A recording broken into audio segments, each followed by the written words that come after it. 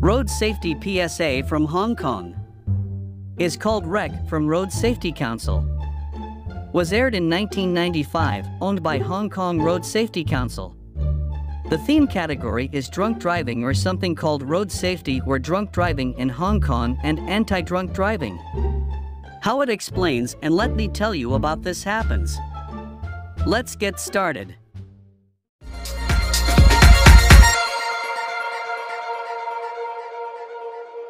Many road safety or drunk driving campaigns in Hong Kong, the importer and channel found a video title, 1995, Road Safety Council or Road Safety Council, Wreck, 1995, Hong Kong. A road safety ad from Hong Kong Road Safety Council, aired in 1995. Take a look for the following scenes.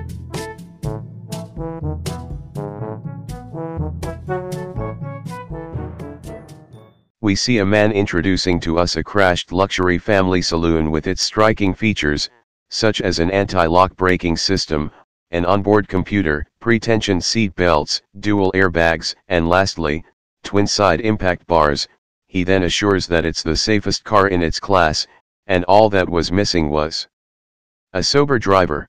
Then, the background suddenly turns dark, emphasizing the crashed car's appearance, it then fades to black, greeting us with a text against a black background that says, if you drink, you can't drive.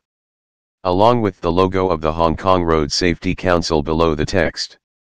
Monologue, a man on screen says. This is a luxury family saloon.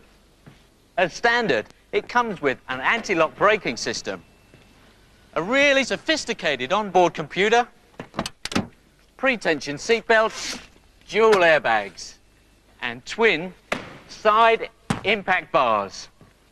It's the safest car in its class.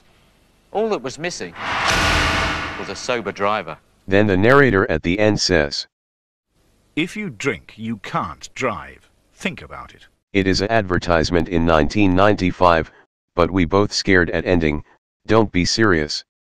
From sounds, we can hear footsteps, the dialogue of the man, the car door opening, seat belt being pulled, airbag being touched, car door closing, and a smack, then after he says all that was missing, an ominous, loud, sudden whoosh sound effect is heard as the camera quickly pans into the crashed car against a semi-dark background. Then the narrator's monologue. Availability, can be seen on some YouTube channels, significant leakness in HK2, which the video can be seen above. And scare factor, minimal to high, since the sudden transition while the man is speaking along with an ominous, horror-like whoosh sound effect can't be expected by most of the viewers. Can be lowered to none if expected.